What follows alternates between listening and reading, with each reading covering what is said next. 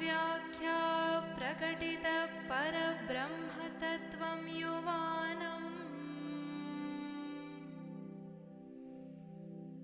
वर्षेष्ठान्तिवसदृशे गणैः आवृतं ब्रह्मनिष्ठैः। आचार्येन्द्रं करकलितचिन्मुद्रमानन्दरूपम् स्वात्मा रामम् मुदितवदनं दक्षिणामूर्तिमीडे।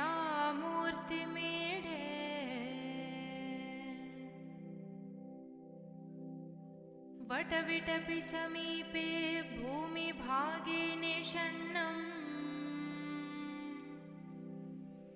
सकलमुनिजनानां ज्ञानदातारमारात्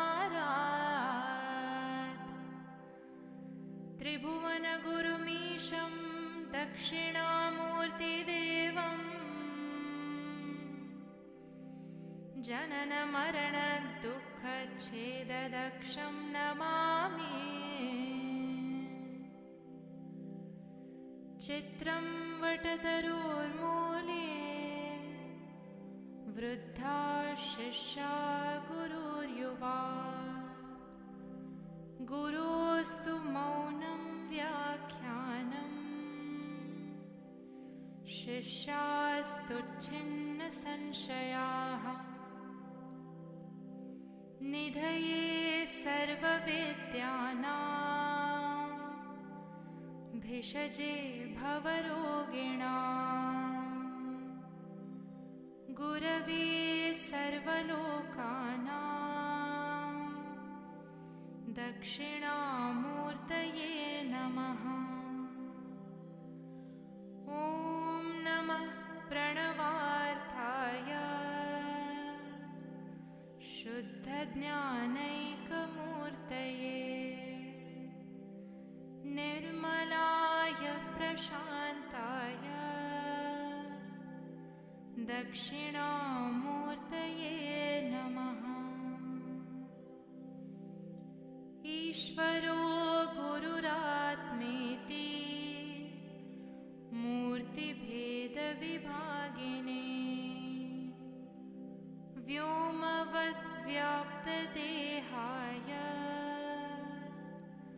दक्षिणामूर्तये नमः।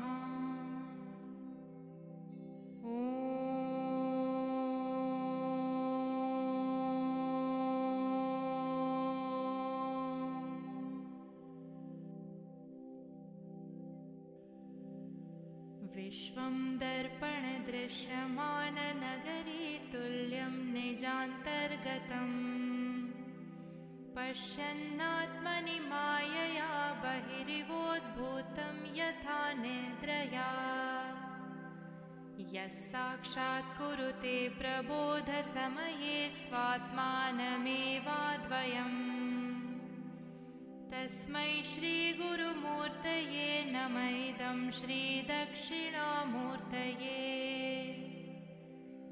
बीजस्यान्तरिवाङ्कुरो जगदिदं प्राङ्निर्विकल्पं पुनः। मायाकल्पितदेशकालकलना वैचित्र्यचित्रे कृतम् मायावीव विजृम्भयत्यपि महायोगी वयः स्वेच्छया तस्मै श्रीगुरुमूर्तये नम इदं श्रीदक्षिणामूर्तये। यस्यैव स्फुरणं सदात्मकमसत्कल्पार्थकं भासते। साक्षात्तत्त्वमसीति वेदवचसा यो बोधयत्याश्रितान् यः साक्षात्करणाद् भवेन्न पुनरावृत्तिर्भवाम्भोनिधौ तस्मै श्रीगुरुमूर्तये नम इदं श्रीदक्षिणामूर्तये। नानाच्छिद्रघटोदरस्थितमहादीपप्रभाभास्वरम् ज्ञानं यस्य तु चक्षुरादिकरणद्वारा बहिः स्पन्दते जानामीति तमेव भान्तमनुभाते तत्समस्तं जगत्। तस्मै श्रीगुरुमूर्तये नमैदं श्रीदक्षिणामूर्तये देहं प्राणमपीन्द्रियाण्यपि चलां बुद्धिं च शून्यं विदुः। स्त्रीबालान्धजडोपमात् स्वहमिति भ्रान्ता भृशं वादिनः। मायाशक्तिविलासकल्पितमहाव्यामोहसंहारिणे तस्मै श्रीगुरुमूर्तये नमैदं श्रीदक्षिणामूर्तये। राहुग्रस्तदिवाकरेन्दुसदृशो माया समाच्छादनात् सन्मात्रः करणोपसंहरणतो यो भूसुषुप्तः पुमान् प्रागस्वाप्समिति प्रबोधसमये यः प्रत्यभिज्ञायते। तस्मै श्रीगुरुमूर्तये नमैदं श्रीदक्षिणामूर्तये।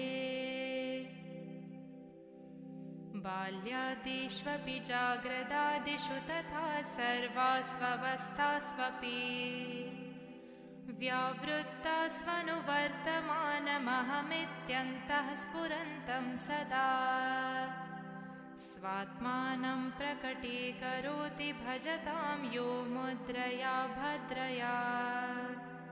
तस्मै श्रीगुरुमूर्तये नमैदं श्रीदक्षिणामूर्तये विश्वं पश्यति कार्यकारणतया स्वस्वामिसम्बन्धतः शिष्याचार्यतया तथैव पितृपुत्राद्यात्मना भेदतः। स्वप्ने जाग्रतिवाय एष पुरुषो माया परिभ्रामितः। तस्मै श्रीगुरुमूर्तये नमैदं श्रीदक्षिणामूर्तये।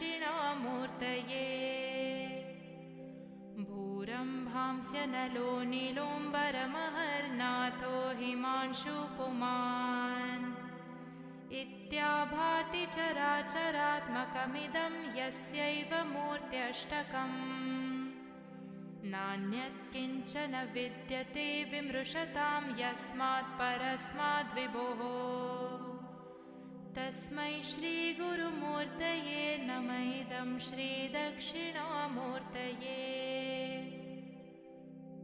सर्वात्मत्वमिति स्फुटीकृतमिदं यस्मादमुष्मिन् स्तवे।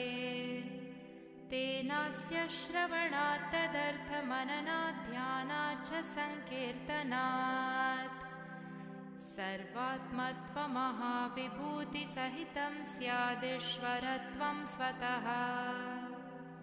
सिद्धित्तत्पुनरष्टधा परिणतं चैश्वर्यमव्याहतम्